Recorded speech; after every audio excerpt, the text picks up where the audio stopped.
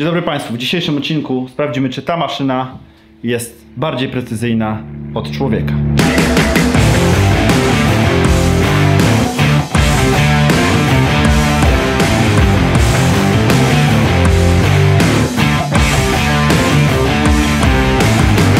Ruszamy do Tomo Guitars, żeby pokazać Wam pleka, bo tak ta maszyna się nazywa, ale najpierw musimy pojechać do studia, żeby zabrać jeden kluczowy element, bez którego cała ta wycieczka nie ma żadnego sensu.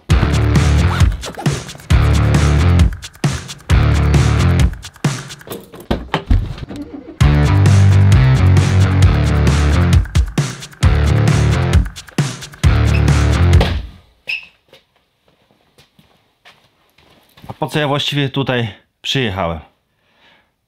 No mogliście się domyśleć.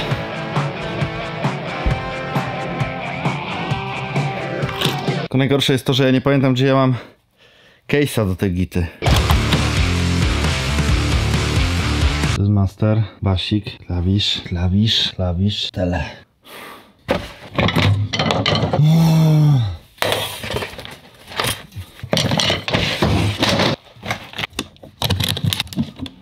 Tą gitarą jest pewien problem, bo ja ją kupiłem w 2019 roku, także jest to nowa gitara, ma dwa, niecałe 3 lata i nigdy jej tak naprawdę profesjonalnie nie ustawiłem, bo nie graliśmy tras, na których tak naprawdę jej używałem.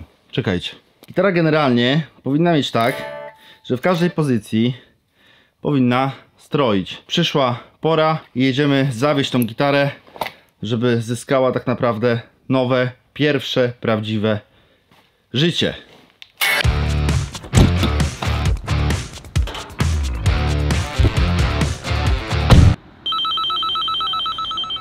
Cześć.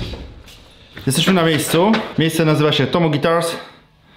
A to jest Tomek. Cześć. Bardzo znana osoba, jeżeli chodzi o środowisko muzyczne, gitarowe. Ustawiał gitary najlepszym w tym kraju. A dzisiaj głównym bohaterem naszego odcinka będzie to. Słuchajcie, żebyście sobie uświadomili, jaka to jest maszyna, to ja sobie tutaj koło niej stanę. W środku są jakieś rurki i cylindry i silniki. Tu jest komputer. Zresztą Tomek wam wszystko zaraz wytłumaczy. Dobra, będziemy robić w pierwszym etapie e, skan podstrunicy i progów, aby dowiedzieć się, czy progi są równe, czy nie są równe, czy są zgodne z radiusem podstrunicy, czy nie. Maciek powie, jakiego rozmiaru używa strun.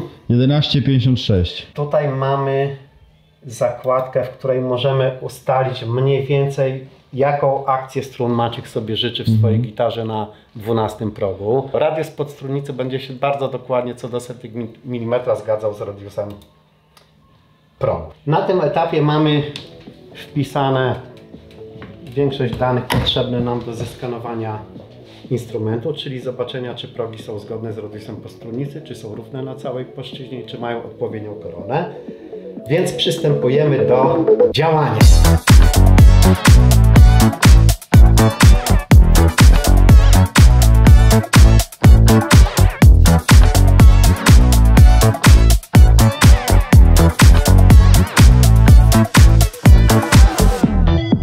Teraz zrobiliśmy skan y, progów, czyli zmierzyliśmy dokładnie wszystkie wysokości progów we wszystkich pozycjach, jakie istnieją na gryfie.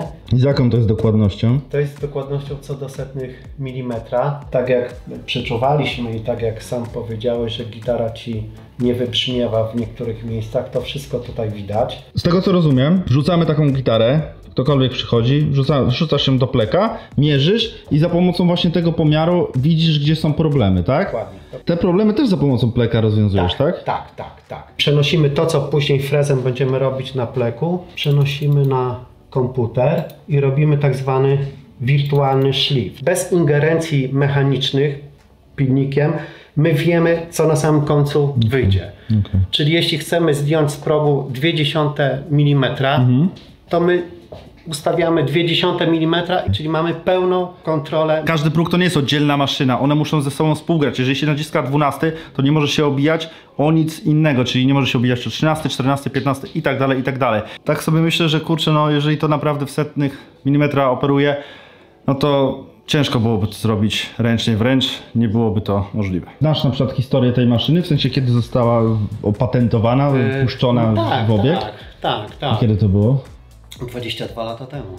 Naprawdę? Mhm. Dlatego na Windowsie. Ja na nim pracuję czwarty rok chyba. Okej. 4 lata. Plek też ma różne programy i Plek na przykład wycina inlaysy, wycina sloty, wycina Aha, różne rzeczy. Okej. Teraz musimy po prostu skorygować wszystkie nierówności na progach. Czyli teraz będziemy wstępnie szlifować, tak? Bo Tak, to tak. się robi na kilka razy, żeby czegoś nie skrzanić. Czasami tak, tak, tak.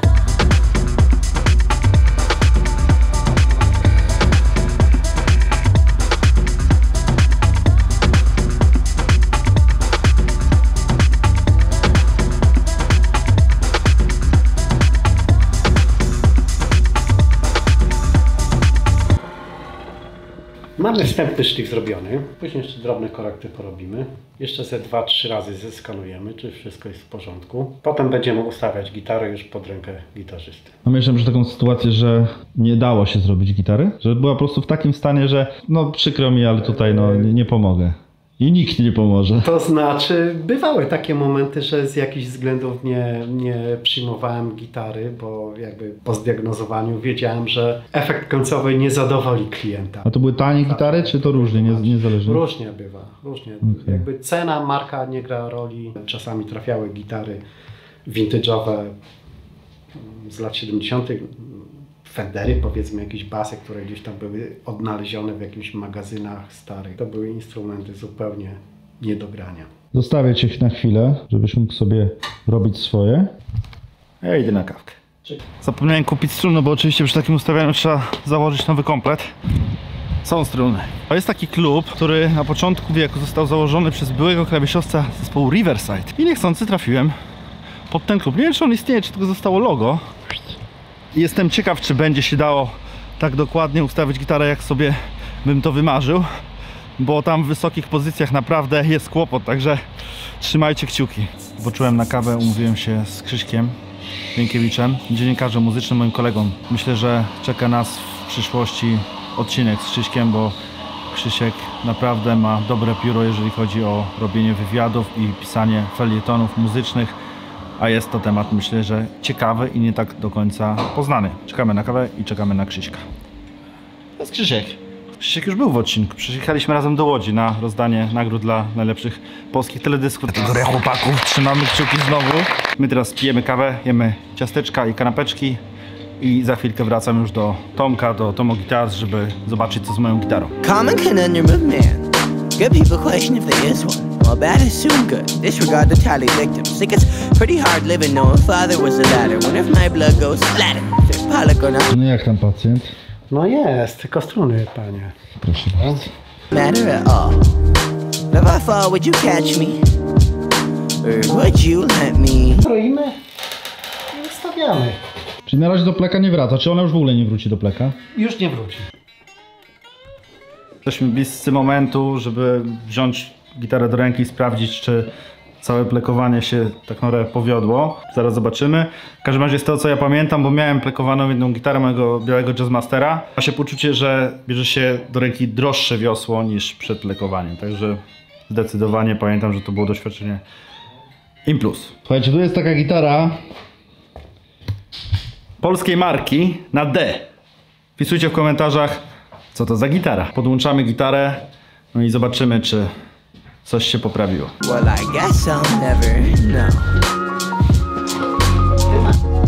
Lest I trust you. Pierwsze zetknięcie z gitarą i muszę przyznać, że jest no, spora różnica. Wreszcie gitara powyżej 12 progu przede wszystkim, bo tam były największe problemy.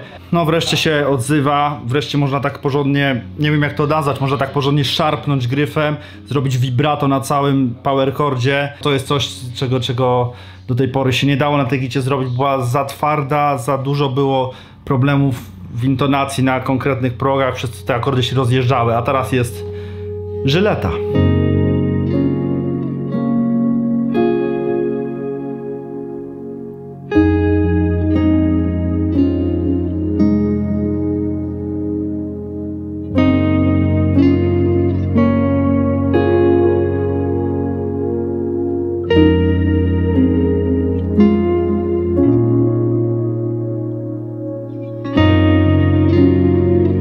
Serdecznie Was tutaj zapraszam. Wracam do grania.